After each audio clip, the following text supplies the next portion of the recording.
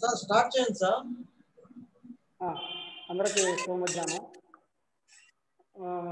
గత క్లాస్లో మనము స్వభాష పాఠానికి సంబంధించిన అంశాలు చూసాము ఇప్పుడు అందులో రెండవది భాషాంశాలు. భాషాంశాల్లో పదజాలం చూసాము మనం. ఇప్పుడు వ్యాకరణాంశాలు. అందులో ఉండే వ్యాకరణాంశాలు పేజీ నెంబర్ పదిహేడు తీయండి. పాఠ్య పాఠ్య పుస్తకం నుంచి పదిహేడు తీయండి.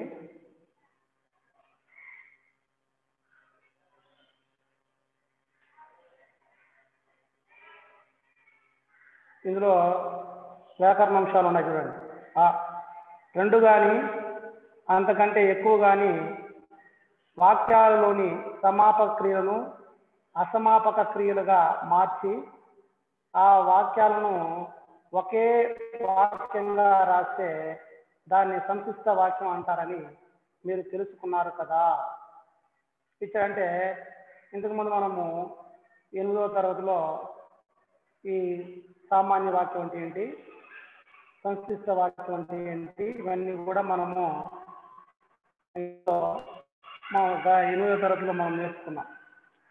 అలాగనే కింది సామాన్య వాక్యాలను సంశిష్ట వాక్యాలుగా మార్చి రాయండి అన్నాడు ఇంకా మొదటిది ఆంగ్లేయ గ్రంథములు ఎన్నియో వ్రాయిస్తున్నారు ఆంగ్లేయ ఉపన్యాసములు ఎన్నియో ఇచ్చుతున్నారు రెండు కూడా సామాన్య వాక్యాలు. ఈ సామాన్య వాక్యాలను ఇప్పుడు మనం సంశిష్ట వాక్యంగా మనం మార్చి రాయాలి సంశిష్ట వాక్యం ఎలా మార్చి రాస్తాము సంక్షిప్త వాక్యంగా మార్చి రాయాలంటే ఏం చేస్తాము చూడండి ఉం? ఇందులో ఏ ఈర ఆడుకోవాలా ఏనా?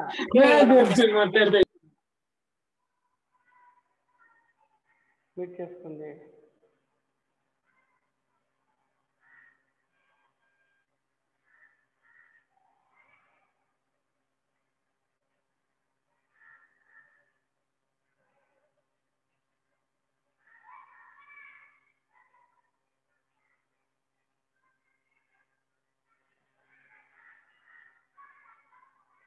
Sir Tulasi sir.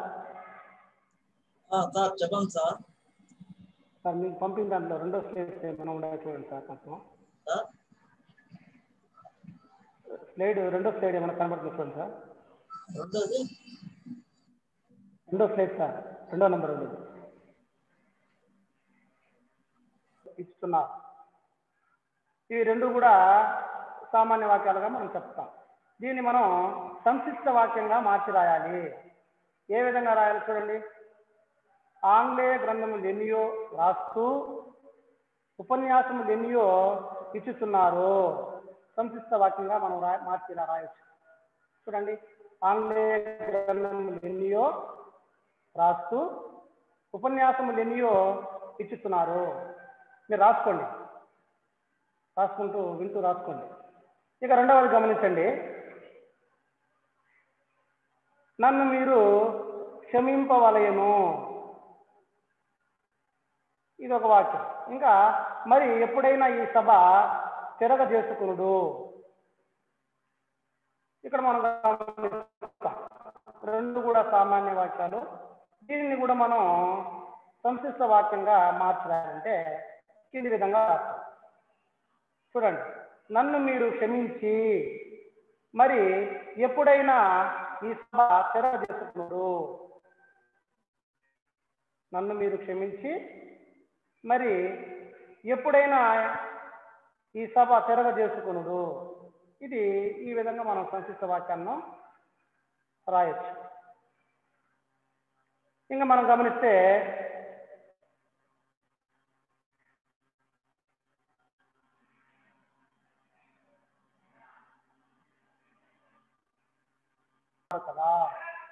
అంటే మనం సామాన్య వాక్యం అంటే ఏంటో తెలుసు. రెండవది సంక్షిప్త వాక్యం అంటే తెలుసు. సంయుక్త వాక్యం కూడా మనకు తెలుసు. అంటే ఇంతకు ముందు సమప్రాధాన్యం గల సామాన్య వాక్యాలు కలిసి ఒక వాక్యంగా ఏర్పడిన దాన్ని సంయుక్త వాక్యం అంటారని తెలుసుకున్నాము అంటాడు. ఇంకా ఆలోనే గమనించండి. కింది సామాన్య వాక్యాలను సంయుక్త వాక్యాలుగా మార్చి రాయండి ఇప్పుడు ఇంతకు ముందు మనం ఏం చేశాము? ఆలోచించాం మొదట్లో మనం. సామాన్య వాక్యాలను సంస్కృత వాక్యాలుగా మార్చి రాశాం. ఇప్పుడు మనము సామాన్య వాక్యాలను సంయుక్త వాక్యాలుగా మార్చి రాయాలి. అందులో మొదటిది గమనించండి. ఆయన ఆంధ్రుడు ఆయన కృష్ణా తీరమున పుట్టినవాడు. ఆయన ఆంధ్రుడు ఆయన కృష్ణా తీరమున పుట్టినవాడు. ఇక్కడ కూడా రెండు సామాన్య వాక్యాలు. దీన్ని మనం సంయుక్త వాక్యంగా మార్చి రాయాలి. ఏ విధంగా రాస్తాము? చూడండి.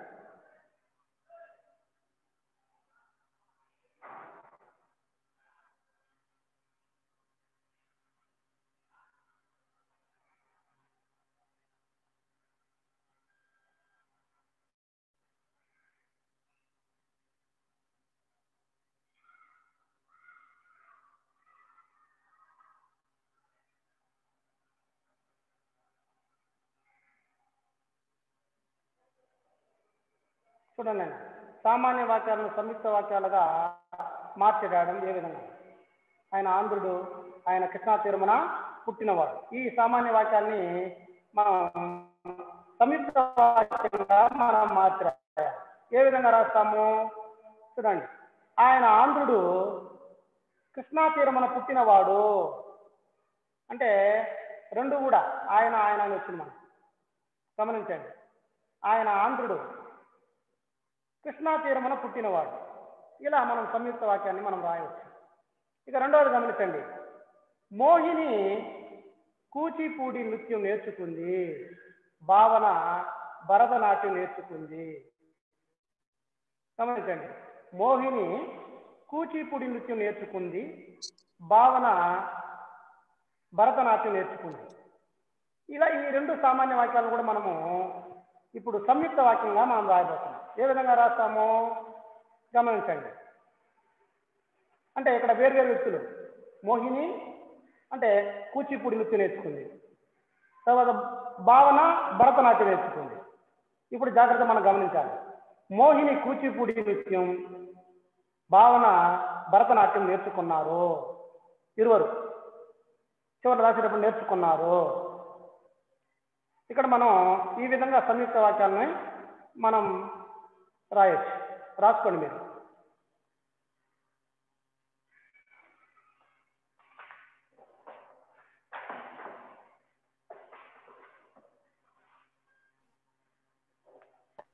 రాసుకున్నారా? తర్వాత గమనించండి ఆయన. పేజీ నెంబర్ పద్దెనిమిది తీయండి. ఇందులో భూతకాలిక అసమాప క్రియను కత్వార్థకం అంటారు కత్వార్థకం అంటారు సంస్కృతంలో చేత్ అనే ప్రత్యయానికి అయితే అని అర్థం. ఇలా తెలుగులో అదే ప్రత్యయం ఏ పదానికైనా చేరితే దాన్ని చేదార్థకం అంటారు. వర్తమాన అసమాప క్రియను శత్రార్థకం అంటారు.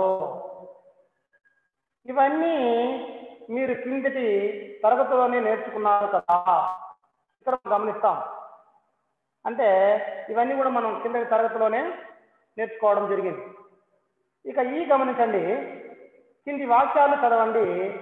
వీటిలో తత్వార్థకం ఛేదార్థకం చిత్రార్థకం ఉన్న అసమాపక క్రియలున్న వాక్యాలను గుర్తించండి.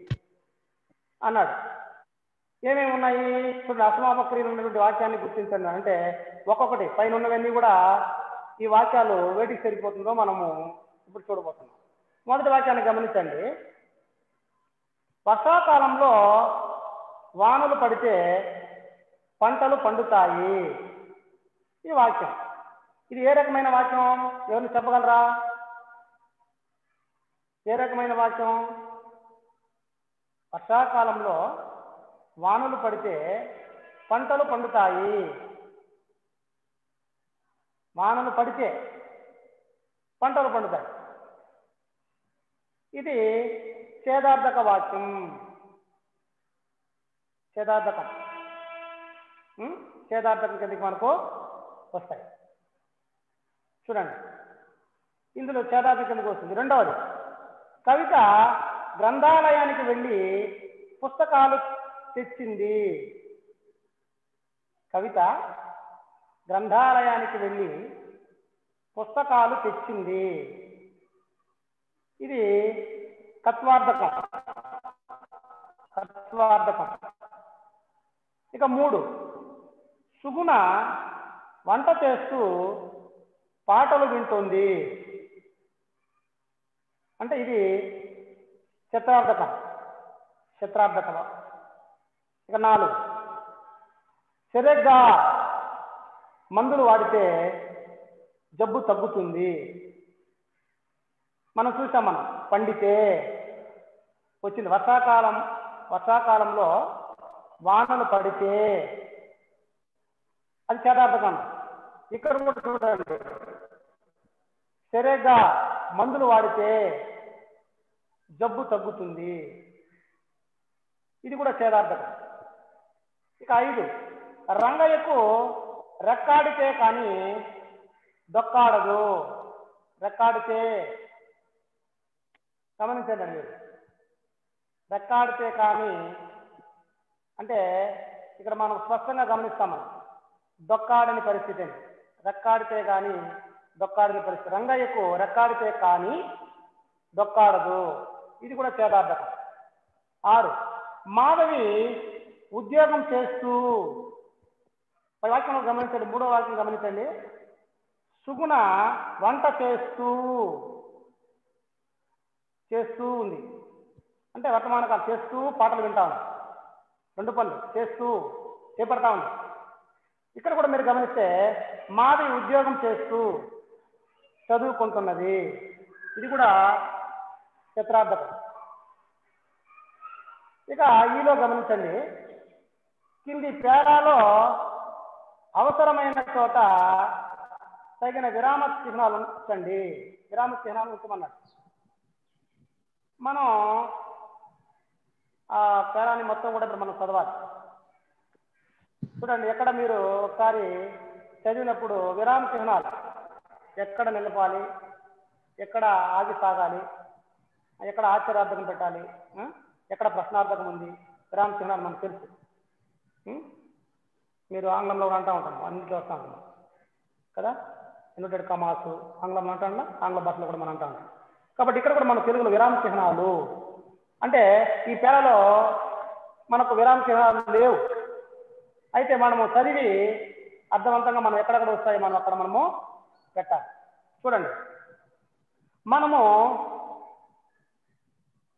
చూడనే లేదయ్యా మన జంగాల శాస్త్రి అయ్యా అని వారిలో వారు అనుకునిస్తూ ఎప్పుడు వచ్చినారు?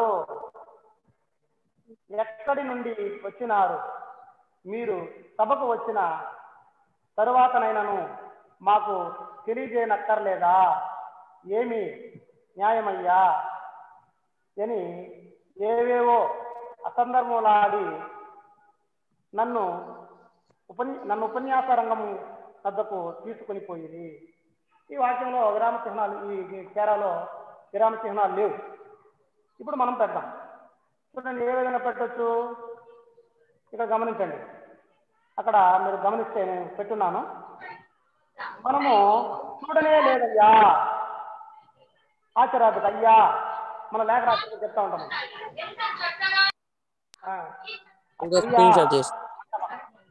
ఆచరార్థకం గుర్తుపెట్టాలి. అంటే ఉద్ధరణ చేయడం అంటే మొదలుపెట్టి ఆ, మీరు గమనించండి. అంటే ఉద్ధరణ చేయడం మొదలు మొదలు పెట్టాలి మనం. ఇన్వర్టెడ్ అంటే మొదలుపెట్టి సూర్య. మనము చూడనే లేదయ్యా ఆచరార్థకం పెట్టాలి? పెట్టుకోండి. మీ పుస్తకాల్లో పాఠ్య పుస్తకాల్లో పెట్టుకోండి. అలాగనే మన జంగాల శాస్త్రీయ అయ్యా ఇక్కడ ఉద్ధరణ చిహ్నాలు ముగించాలి. అని వారిలో వారు అనుకొనుచు ఎప్పుడు వచ్చినారు? ఎప్పుడు వచ్చినారు? చూడండి. అందులోనే మనం గమనిస్తాం. మీరు ఎప్పుడు వచ్చారు? అక్కడ గమనిస్తే ఎప్పుడు? అది ఉద్ధరణ చిహ్నం మొదలు పెట్టాలి మనం. మరి వచ్చినారు ప్రశ్నార్థకం. వచ్చినారు అంటే ప్రశ్నిస్తున్నారని ఎక్కడ నుండి వచ్చినారు? ఇది కూడా ప్రశ్నార్థకం. ఎక్కడి నుండి వచ్చారు ప్రశ్నిస్తున్నట్టు ప్రశ్నార్థకం. అవిరామ మీరు సభకు వచ్చిన తర్వాతనైనను అయినను మాకు తెలియజేయనక్కర్లేదా? ఇక్కడ కూడా ప్రశ్నార్థకం పెట్టుకోవాలి. ఏమి న్యాయమయ్యా? ఆశ్చర్యార్థకం. అని ఏవేవో అసత్తములాడి ఆగి సాగాలి నన్ను ఉపన్యాస తీసుకొని పోయిరి. చూడండి అక్కడ నద్దకు అక్కడ చుక్క కాదు అది వాక్యం అట్లే మళ్ళీ పూర్తిగా ఉంది మనకు. చుక్కలేదు అది నద్దకు తీసుకొని పోయి అక్కడ మనము చుక్క పెట్టుకోవాలి. ఇది ఈ విధంగా విరామ చిహ్నాలు ఈ పేరాల్లో మనము పెట్టాలి. ఇంకా ఊ గమనించండి. ప్రత్యక్ష పరోక్ష కథనాలు. ఇందులో ప్రత్యక్ష కథనం. కింది వాక్యాలు చదవండి. కింది వాక్యాలు మనం చదివితే చూడండి. నాయనలారా నేను మీ సభా కార్యక్రమమునంతయు చెడగొట్టి తిని సభా కార్యక్రమమునంతయు చెడగొట్టి తిని ఇది మీరు గమనిస్తే నాయనలారా అక్కడ మీరు ఉద్ధరణ చిహ్నం మనకు ప్రారంభమవుతుంది నాయనలారా రా అక్కడ మనకు ఆశ్చర్యార్థం తిరిగి చెడగొట్టి తిని ఉద్ధరణ చిహ్నం ముగిస్తున్నాం. ముగిస్తున్నారు. ఈ వాక్యాన్ని మీరు గమనించండి. నాయనలారా నేను మీ సభా కార్యక్రమం అంతయు జడగొట్టి తిని. ఇక రెండో వాక్యం. నన్ను మీరు క్షమింపవలయను ఉద్ధరణ చిహ్నంతోనే ప్రారంభించి ముగిస్తున్నాం. పై వాక్యాలన్నీ జంగాల శాస్త్రం నేరుగా చెప్తున్నట్లు ఉన్నాయి కదా. ఇప్పుడు మన పార్టీ భాగంలో చెప్పాడు. నాయనలారా నేను మీ సభా కార్యక్రమంతయు జడగొట్టి తిని నన్ను మీరు క్షమింపవలయను ఆయన చెప్పాడు మాటలు. పార్టీ భాగంలో మనం గమనిస్తే పాఠ్యాంశంలో పార్టీ భాగంలో. అక్కడ మనకు ఈ పాఠంలో ఆ విధంగా ఆయనే ఆ మాటలు చెప్తున్నట్టుగా మనకు కనబడుతుంది. అందుకే జంగాల శాస్త్రం నేరుగా చెప్తున్నాయి కదా అన్నాడు. నేను మేము ఇలా ఉండే వాక్యాలు అనగా ఉత్తమ పురుషులోని వాక్యాలు సాధారణంగా ప్రత్యక్షంగా చెప్తున్నట్లుగా ఉంటాయి. అంటే ఎవరైతే చెప్తారో ఉత్తమ పురుష అంటే మా వాళ్ళని సొంతంగా చెప్పినట్టు అంటే వాళ్ళు అన్నట్టుగా కనబడేది మనకు. నాయన ఆయన అన్నారు నన్ను మీరు క్షమించడి క్షమించవలేను ఆయన అన్నారు. ఇది ఉత్తమ పురుషులు అనే వాక్యాలు సాధారణంగా ప్రత్యక్షంగా చెబుతున్నట్లుగా ఉంటాయి. వాక్యం ఆ విధంగా తామే చెప్తున్నట్టుగా కనబడుతుంది అని చెప్పడం జరిగింది. అట్లే కింది వాక్యాలను చదవండి. మొదటిది నేనొక్కడనే అదృష్టవంతుడినా అన్నాడు జంగాల శాస్త్రి. గమనించండి ఆ వాక్యము ఏ రకంగా వచ్చింది? ఉద్రణ చిహ్నంతో ప్రారంభించాడు. నేనొక్కడినే అదృష్టవంతుడినా ప్రశ్నార్థకం పెట్టి తర్వాత ఉద్రణ చిహ్నము ముగించాడు. గమనించండి. ఇక రెండవది నేను రాను ఉద్రణ చిహ్నం ప్రారంభించి రాను ముగిస్తున్నాడు అని నరేష్ రఘుతో అన్నాడు. ఈ వాక్యాన్ని కూడా మీరు గమనించండి. ఈ రెండింటి మధ్య ఉన్నటువంటి వ్యత్యాసాలు. లేదా నేను రా నని నరేష్ రఘుతో అన్నాడు. అని నని ఆ రెండు లేదా అని పెట్టాడు. పై వాక్యాల్లో గీత గీసిన మాటలను ఎవరు అన్నారు? ప్రశ్న. ఇక్కడ మనం గమనిస్తే మొదటి దాంట్లో మాటలను రెండవ దాంట్లో నరేష్ అన్న మాటలను ఉద్ధరణ చిహ్నాలు అంటే ఇన్వర్టెడ్ కమాలు ఉంచి చెప్పారు కదా. అంటే ఆంగ్లంలో దాన్ని యునైటెడ్ కమాండ్స్ అంటారు. తెలుగులో అయితే మనం ఉద్ధరణ చిహ్నాలు అంటే ఉద్ధరించి చెప్పడం. ఉద్ధరించి ఆ చిహ్నాన్ని పెట్టి సరే ఉద్ధరించి చెప్పినట్టు అంటే అంటా ఉంటాం. అలా చెప్పారు కదా. ఇలా నేరుగా చెప్పదలుచుకున్న అంశాలను ఉద్ధరణ చిహ్నాలు ఉంచి చెప్పినప్పుడు వారే ప్రత్యక్షంగా చెప్పినట్లుగా ఉంటుంది. అంటే వాళ్ళే ప్రత్యక్షంగా చెప్తున్నట్లుగా మనకు ఉంటాయని అంటున్నాడు. ఈ విధంగా చెప్పడాన్ని ప్రత్యక్ష కథనం అంటారు. అంటే వాళ్ళే ఎవరైతే చెప్పాలనుకున్నారో వాళ్ళే చెప్పేదాన్ని ఏమంటారంటే మనము ప్రత్యక్ష కథనం ద్వారా చెప్తాం. అందుకే ఆయన అన్నాడు నేను ఒక్కడినే అదృష్టవంతుడునా? గమనించండి. కాబట్టి ఎవరైతే చెప్పాలనుకున్న వాళ్ళే ప్రత్యక్షంగా చెప్పినప్పుడు అది ప్రత్యక్ష కథనం అని మనము వాళ్ళు చెప్తే ప్రత్యక్ష కథనం అంటారు. ఇక గమనించండి.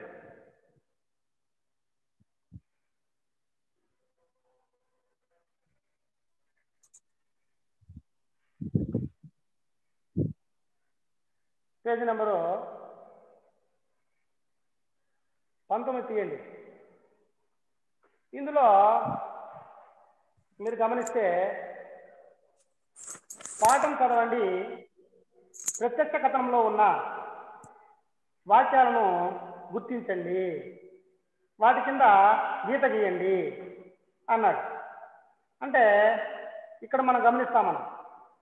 పాఠంలో ఏమేమి ఉన్నాయి? ప్రత్యక్ష కథంలో ఆయన చెప్పిన మాటలు.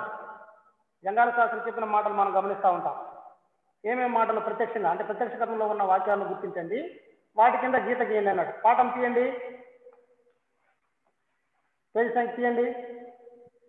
పన్నెండు తీయండి. పదమూడు తీయండి. రెండు రెండు పేజీలు తీసుకెట్టుకోండి ఆ మొదటి గమనించండి. పదమూడో పేజీలో మీరు రెండో పేర గమనిస్తే ఆహాహా. గమనించండి. ఏమని?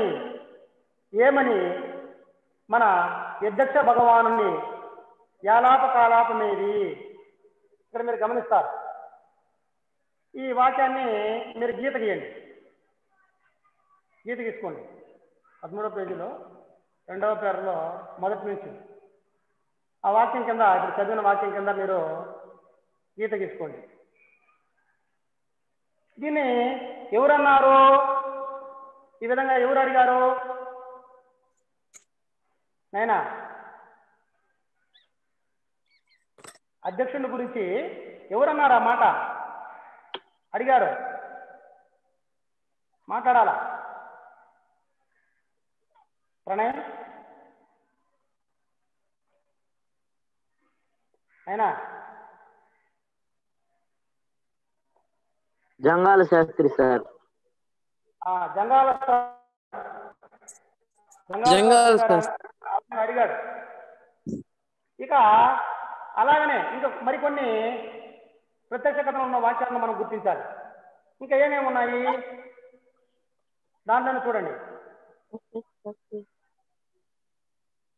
చెప్పండి నేను చూడండి ఆయన అందులోనే. అందులోనే ఆ పేరు చివరిలో చూడండి అట్టి వాడు ఆంగ్లేయ భాషను అభ్యసించినంత మాత్రమున ఇప్పుడు ఆంధ్రమున మాట్లాడలేకుండా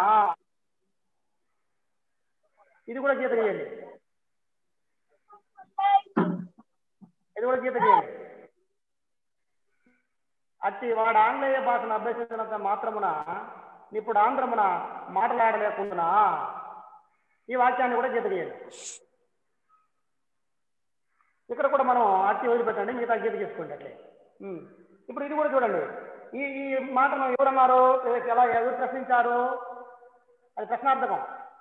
మీరు అక్కడ విరామం చేయడం చూస్తే మాట్లాడలేకుండా ప్రశ్నార్థకం అది. ఎవరు ప్రశ్నించారు ఆ విధంగా? ఎవరు ప్రశ్నించారు నాయనా? అధ్యక్షుడి గురించి ఎవరు ప్రశ్నించారు? జంగాల శాస్త్రి సార్. జంగాల శాస్త్రి జంగాల శాస్త్రి ఆ విధంగా ప్రశ్నించాడు అధ్యక్ష భగవాన్ గురించి. ఈ విధంగా ఆయన ప్రశ్నిస్తున్నాడు ఇంకా మరికొన్ని కూడా మనము చేయాలి. ఇంకా కూడా వెతకొచ్చు మనం.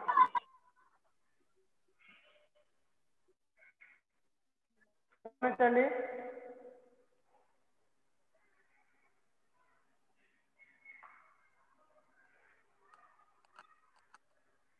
నాయనలారా మీరు కూడా వింటిరి కదా?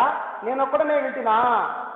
ఈ మాట ఈ వాక్యం ఈ- మాట ఎవరు అన్నారు ఎవరు అడిగారు ఆ విధంగా? జంగాల శాస్త్రి సార్. శాస్త్రి సార్. జంగాల జంగాల శాస్త్రి. ఆ ఇవన్నీ కూడా ఈ మూడు వాక్యాలు చూసిన మూడు వాక్యాలు కూడా ఏ కథనంలో ఉంది? ఏ కథనం ఉంది నాయన? ఆయన అంటున్నాడు జంగాల శాస్త్రి అంటున్నాడు. ఇవన్నీ ఏ కథనంలో ఉంది. ప్రత్యక్ష కథనంలో ఉంది. ఆయన ప్రత్యక్షంగా ఆయన చెప్తున్నాడు.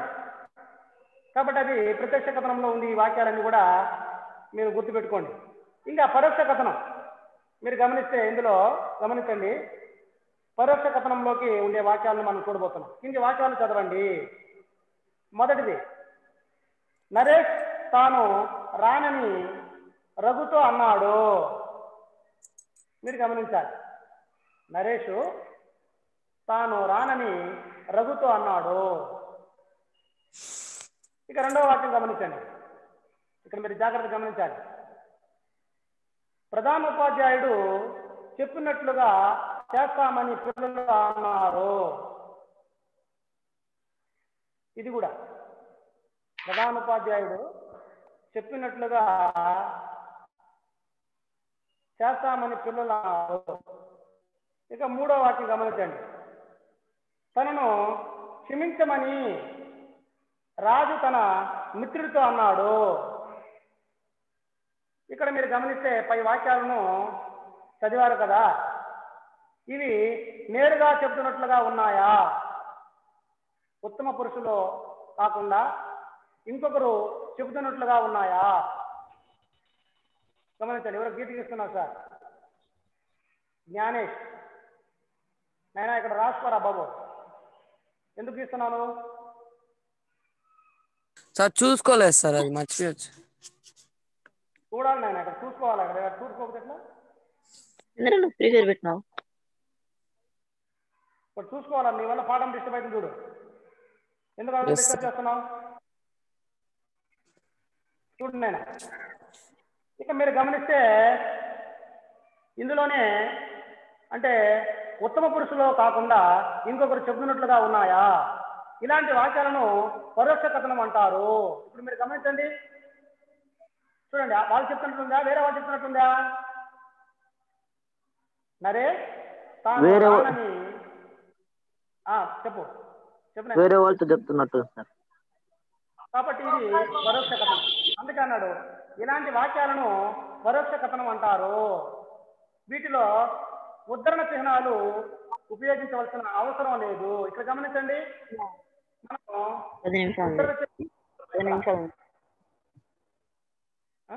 ఉద్ధరణ చిహ్నాలు అవసరం లేదు. అవసరం లేకుండానే ఈ వాక్యాలను మనం ఇలా ఈ విధంగా ఉండే వాక్యాలను పరోక్ష కథనం ఉండే వాక్యాలను మనము చెప్పుకోవచ్చు. పాఠం చదవండి. పరోక్ష కథనంలోని వాక్యాలను గుర్తించండి వాటి కింద గీత గీయండి. ఆయన ఇక్కడ గమనించు. ఉన్నీలే ఇక్కడ గమనించు. నువ్వు రాసుకుంటా ఉండవు నిమిషం నుంచి గమనిస్తున్నావా? నువ్వు రాసుకో ఇక్కడ చూసుకోవాలి కదా. పాఠం వినాలి కదా నువ్వు. కాబట్టి పాఠం చదవండి. పరోక్ష కథంలోని వాక్యాలను గుర్తించండి. వాటి కింద గీత గీయండి అన్నాడు. గమనించండి. ఏమేమి ఉన్నాయి?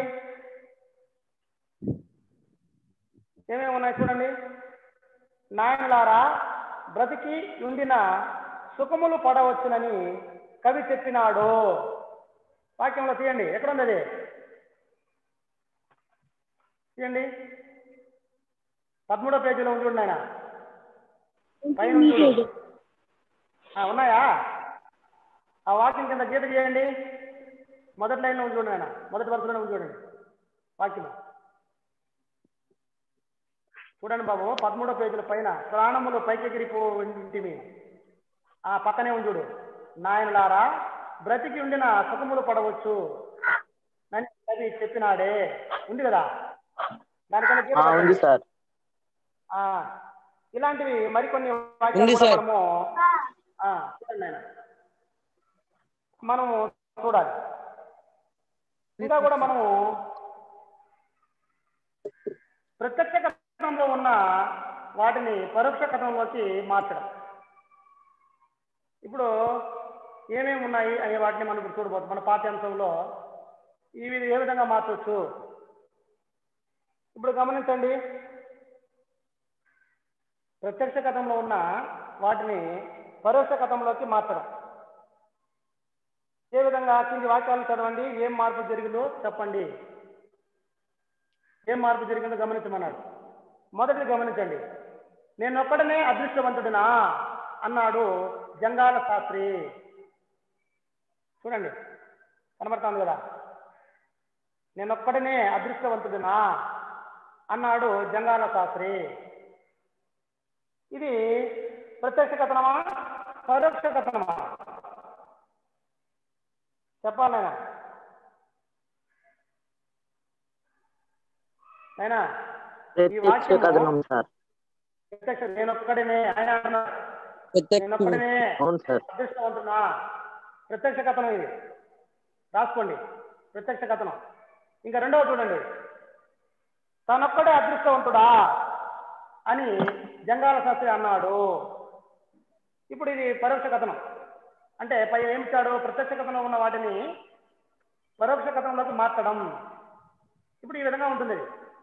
నేనొక్కడనే తానొక్కడే అదృష్టవంతుడా అని జంగాల శాస్త్రి అన్నాడు. ఇది పరోక్ష కథనం. పైది ప్రత్యక్ష కథనము కిందది పరోక్ష కథనం. ఇక్కడ గమనించండి. మొదటి వాక్యంలో జంగాల శాస్త్రి మాట్లాడిన మాటలను ఉద్ధరణ చిహ్నాలు ఉంచి రాశారు. మీరు గమనించండి. నేను ఎక్కడనే అదృష్టవంతున్నా. ఉద్ధరణ చిహ్నం ఉందా లేదా? ఉంది. ఉంది సార్. ఉద్ధరణ చిహ్నంతోనే ప్రారంభించి దక్షిణార్థకం పెట్టి ముగించాడు. మనం గమనించాలి ఉద్ధరణ చిహ్నం ఉంది. కాబట్టి రెండో వాక్యంలో జంగాల శాస్త్రి అన్న మాటలను ఇంకొకరు చెప్పినట్లుగా రాశారు. ఇప్పుడు మనం చెప్తాం ఆయన అన్నాడు ఈ విధంగాని తానొక్కడే అదృష్టవంతుడా అని జంగాల శాస్త్రి అన్నాడంటే ఇంకొకరు చెప్పినట్టు. కాబట్టి అక్కడ మీరు గమనిస్తాం అక్కడ మనము రెండింటి మధ్య భేదాన్ని మనం అక్కడ గమనిస్తాం. రెండు వాక్యాల మధ్య. ఇందుకోసం ఉద్ధరణ గమనించండి. అని చేర్చి వాక్యాన్ని రాశారు. ఇప్పుడు తానొక్కడే అదృష్టవంతుడా అని అని చేర్చారు అంటే ఉద్ధరణ చిహ్నాలు తీసేయడం జరిగింది. అని జంగాల శాస్త్రి అన్నాడు అని రాసేయడం జరిగింది అక్కడ. మీరు గమనిస్తే. వాక్యాన్ని రాశారు. కాబట్టి మొదటి వాక్యం ప్రత్యక్ష కథనంలో ఉంటే రెండో వాక్యం పరోక్ష కథనంలోకి మారింది. ఉత్తర చిహ్నం తీసేసి అని చేసి వాక్యాన్ని రాయడం జరిగింది. అలా రాసినప్పుడు వేరే వాళ్ళు చెప్తున్నట్టుగా మనకు కనబడతాయి. అంటే వేరే వాళ్ళు చెప్తున్న కనబడ అందుకే అది పరోక్ష కథనంలోకి మారింది. ఇక్కడ గమనించండి. ప్రత్యక్ష కథంలోని వాక్యాలు పరోక్ష కథంలోకి మారేటప్పుడు కింది మార్పులు చోటు చేసుకుంటాయి. ఇప్పుడు మీరు గమనించాలి. ప్రత్యక్ష కథనంలోని వాక్యాలు పరోక్ష కథనంలోకి మారేటప్పుడు కొన్ని మార్పులు చోటు చేసుకుంటాయి నేను అది ఏంటి అనేది అక్కడ ఇవ్వడం జరిగింది. అందులో మొదటి మాటలు లేక వాక్యంలోని భావాన్ని స్వీకరిస్తారు. రెండవది ఉద్ధరణ చిహ్నాలు తొలగించి అని చేరుస్తారు. ఇప్పుడు మనకు వచ్చింది అని చేర్చారు. ఉద్ర చిహ్నాలు తొలగించారు. పరోక్ష కథనం వచ్చినప్పుడు మారిపోయిందారు అంటే ఉద్ర చిహ్నం తొలగిపోయింది అని చేర్చి వాక్యాన్ని చెప్పడం జరిగింది కాబట్టి అని చేరుస్తారు. ఉత్తమ పురుష పదాలు ఉంటే నేను మేము వంటివి ప్రథమ వచ్చి అంటే తను తమ తాను తాము లాగా మారుతాయి. ఇప్పుడు మీరు గమనించాలి. అక్కడ నేనొక్కడనే అదృష్టవంతుడు అన్నాడు నేను నేనొక్కడనే. అది ఏంగా మారింది? తానొక్కడే తాను. తానుగా మారింది. అంటే ప్రత్యక్ష కథనం ఉన్నప్పుడు ఉండేవి పరోక్ష కథనంలోకి వచ్చినప్పుడు మారు ఈ విధంగా మారుతుంది. ఇక్కడ మనం గమనిస్తాం. ఉత్తమ పురుష పదాలు ఉంటే నేను మేము వంటివి ప్రథమ పురుషులకు అంటే